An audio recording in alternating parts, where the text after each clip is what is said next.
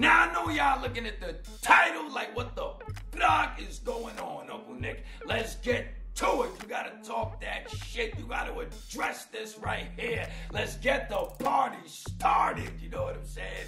Now I was chilling out last night. I was doing a little live streaming shit. The numbers were kind of low. It was kind of dead. So I decided to break the fuck out. You know what I mean? Finish my beer, smoke my weed, eat some food, and get some rest. So I took my ass to bed, you know what I'm saying? I'm sleeping, chilling, doing my thing, and all of a sudden my phone keeps going off, you know what I'm saying? But I ignored this shit. I'm like, fuck that, I gotta get some shut eye, you know what I'm saying? So I wake up to take a piss later in the night, and I'm like, yo, let me check my phone and see what's popping, you know what I mean? So I go through my phone and I see that it's Gully TV. This nigga is direct messaging me and shit like that. And I'm like, the fuck you direct messaging me at this time for? You So I look at the message and shit. And the nigga's like, yo, you're done. I'm gonna expose you, white boy, and shit like that. And I'm thinking in my mind, like, why are you typing this to me right now? Why don't you just go fucking expose me then? If you got all this critical information that's gonna blow the fucking lid off of everything, you know what I mean? It could only be one thing that you're actually a fan and you wanted to have some type of dialogue because that shit is weird at the end of the day. But I engaged him, we went back and forth. So in my mind, I was like, yo, this nigga's tight about that Flee Lord interview, you know what I'm saying? But he wrote me back and it's like, oh, Flee Lord is mediocre, average at best. I'm not worried about Flee Lord, yada, yada, yada. I'ma expose you, you know what I'm saying? So I'm like, I don't give I went back to bed, you know what I'm saying? Woke up this morning, maybe a little coffee, rolled up a joint and shit, and I went and checked Instagram, and booyah, the party got started. Welcome to the party, Uncle Nick, you know what I'm saying? And um, he had this article up there about me uh, fucking robbing somebody or some shit like that. Then he had a, a video that I put out because I used to do these cooking videos and shit like that where I was making a cactus salad. And then I guess he like screenshotted, I don't know, my fucking Instagram page whatever the fuck it is, you know what I mean? So I go check out the post and shit like that, you know what I'm saying? He tagged me and all that. So I'm starting to read it and shit, and I'm like, yo, this shit is funny right here, you know what I mean? Because niggas on the internet, they look at you and they think that they can put you in a box. They think they you So then they get a little piece of information from there, a little something from here, and they spin a story. So this nigga's like, yo, a childhood friend is exposing you and shit like that. But I gotta admit, he's clever because he's trying to uh, validate his story for these people that truly don't follow me or don't know my story or anything like that, or people that are gonna just chime in and talk a little shit. He's gotta make this look juicy, he's gotta make this look good. And if you pretend or you act like or you make up a lie about some childhood friend exposing me, it seems like this shit is real, but this nigga's making shit up right And in my mind, I know this nigga's lying, you know what I'm saying? Ain't no childhood friend said you nothing. I used to talk about all this stuff on my show back in the days. You know what I'm saying? So it's some disgruntled ex-member of the Wolf Pack. You know what I mean? I be blocking niggas sometimes we don't get along anymore. So they thought that they would go hit up Gully TV, like, yo, Gully TV, expose Uncle Nick, get the fuck out of here with that bullshit. You know what I'm saying? How can you expose something that I already talked about and I already put out there, and that's how you know about it? That's a little lame brain right there. You fucking rocket scientists out there. But anyhow, like I said, people think that they can uh, judge you or gauge you on the internet. So he's talking about you're not Puerto Rican or you're not this or you're not that. And anybody that watches my show, you know that I talk about my parents. My mom's is black, my pops is Italian. I give a shout out to all my Latin people in the world. I grew up at so I grew up around mad Puerto Ricans, Dominicans, New York City. It's a melting pot. You get to meet a lot of people. So at the end of the day, I speak a little Spanish in my videos or do this or do that. And you think that I look Puerto Rican, so you put that in your brain. So I guess that's part of your whole spiel now. Fuck out of here with that bullshit. But I don't want this video to be too long. I want it to be uh, compact, you know what I'm saying? So let's start breaking all this shit down that he's exposing, you know what I mean? So one of the things he was saying is that, oh, I got a picture of your white mother. Really, son? You know what I'm saying? I usually don't post things on Instagram about my family members or certain shit because it ain't nobody's fucking business. You know what I'm saying? I'm doing what I'm doing, and that's it. You know what I mean? You don't need to know every fucking intricate detail about my fucking life. You know what I mean? I'm not a liar, so I don't feel like I have to prove shit to anyone. But just to prove that you're a fucking liar, I put a picture of my mother and my grandfather. You know what I'm saying? When I was a kid. Now they're not the darkest of black folks, you know what I'm saying? But they're black. You can clearly see, you know what I mean? That Uncle Nick's in the right and you're in the wrong. So you're trying to make some bullshit up. Negative.com. So that was the first motherfucking thing that he's lying about. You know what I'm saying? Then he starts to try to adjust the margins and shit like that. Now this is where there is some truth to the story. You know what I'm saying? He puts some uh, article up and shit like that. Nicholas Iacovino, that's me. You know what I'm saying? uh, Rob's pedicab dude or whatever the fuck at the end of the day. I got arrested. He said, oh, he swung a hammer at him. Not a real hammer, but an actual hammer. You know what I'm saying? So let's get into that, right? Now, I don't like to get into all my business, but I used to lend people money back in the day, you know what I'm saying, for a little fee. Basically, you get the idea. But there was this one motherfucker, I gave him like six or seven hundred dollars or something like that. He had to pay his rent or some shit. And this nigga started ducking me. I'm like, yo, where the fuck this nigga at? And there was this mechanic that I used to fuck with in this parking lot. You know what I'm saying? So he was over there fixing some shit for me. I was drinking a beer, smoking a cigarette. And booyah, this nigga comes in there because they knew each other and shit like that. And I'm like, yo, what's up, son? Where the fuck you been at? So I grab him by his arm and shit. And I'm like, yo, dogs, I want my motherfucking money. So he pulled away, he spun around, and he tried to run. But I grabbed the back of his shirt, and there was a hammer because the mechanic was fixing some shit on this little table. So I picked the hammer up and I swung the shit at him. You know what I'm saying?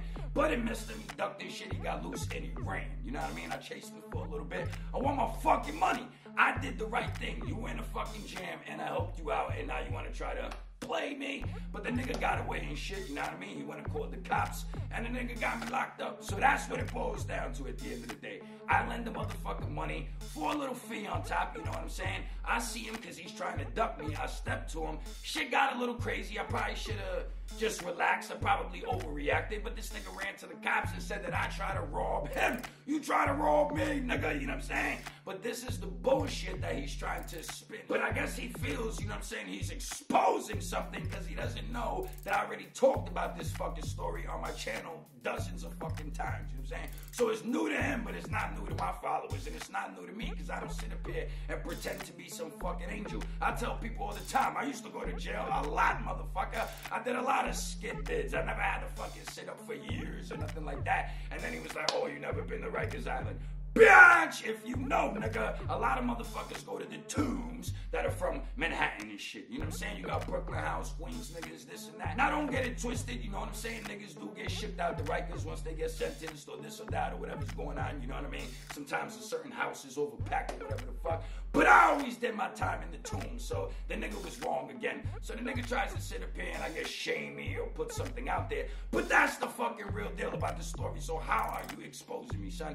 You look fucking crazy right now. But being the bipolar motherfucker that I am, I'm unpredictable, you know what I'm saying? So there's a little more to the story at the end of the day. This nigga's trying to put out some article about me robbing somebody and shit like that. Negative.com, nigga. Why don't you put out the article about me and my crew actually stopping a robbery? You know what I'm saying? Nigga restaurant where we used to hustle at and do certain shit. Nigga start beating up the old people, punching old dude in the face and shit like that. Lady came outside screaming, crying, looking all fucked up. Nah, nigga, those are my peoples. I fuck with them. They let us do our thing. So we gon' regulate, motherfucker. But you don't want to talk about that shit right there, right? You don't want to talk about all the charitable things that I do. My second annual Christmas drive.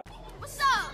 And um I don't know. I'm just in the uh, spirit of giving right now. You know, I get uh, donations to my show on YouTube and stuff like that. And I just wanted to come back and uh, give to the kids in Harlem. You know what I'm saying? And I just wanted to see them smile, feel good, and I want to inspire them. And I want to let them know that people care about them out here. We're gonna do a third one this year, feeding the homeless in the streets, taking care of the ladies in the shelters, donating to the motherfucking church, going out and cleaning the streets in Jersey, giving kids toys, just giving back to my community, buying homeless people shoes, all types of shit. And I do that with the donations from the little bit of followers that I have. You know what I'm saying? I'd rather have a little bit of followers that actually hold it town and help me change the world than have a bunch of motherfuckers that just want to sit around and look at a bunch of gossip and bullshit and pretend like they're living vicariously through you and you got some flashy fucking lifestyle. Stop that bullshit right there. Then the nigga tried to put a little video up of me making a uh, cactus salad. I had the fly rugby on with the motherfucking rugby cap to match, you know what I'm saying, with the shorts and shit.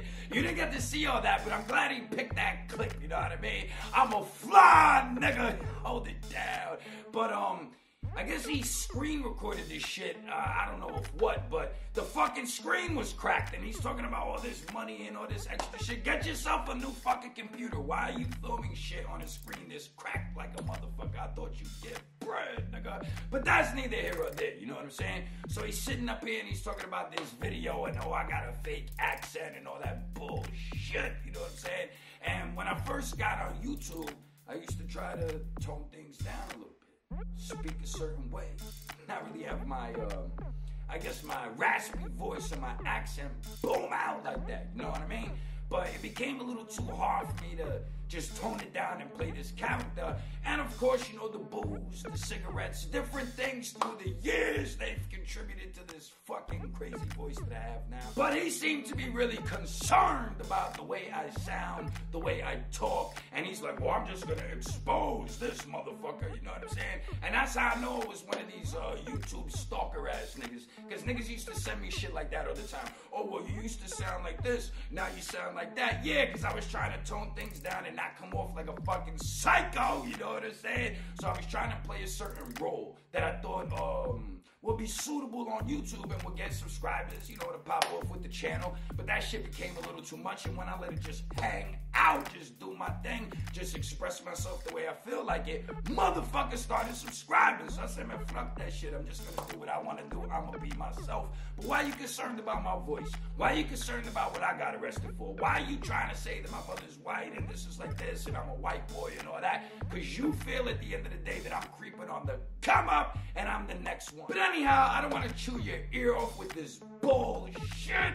This will be the last time I'll even be addressing this, because like I told y'all, um, in that last video that I did several weeks ago, I'm not gonna be going at YouTubers. I'm not gonna be roasting YouTubers, talking shit to them, or doing all types of extra shit on my channel. And then all their little followers and minions, they start flagging your shit. You start having all types of fucking issues at the end of the day. So shout out to Gully TV. You know what I'm saying? Shout out to all you motherfuckers on YouTube doing your damn dang, this was actually entertaining. It was funny. And I'm quarantined. I didn't really have shit to do. I wasn't even gonna make a video today. But you helped me get it popping. And number one, most of all, you're giving me free promo. So I really appreciate that shit at the end of the day. Shout out to you, son. And if you ever want to call into the show, you want to talk a little shit, the platform is open to you. Let me know what's But other than that, y'all get up in the comment section and y'all let me know what y'all think. You know what I'm saying? And if you appreciate the content, get up in the description box and drop a donation. Trip, trip, trip fills the bucket. And other than that, I'm out this motherfucker. Y'all be safe, be cool, be easy. Don't do anything stupid on the fucking internet or in these goddamn streets. And I'll see y'all motherfuckers soon. Peace.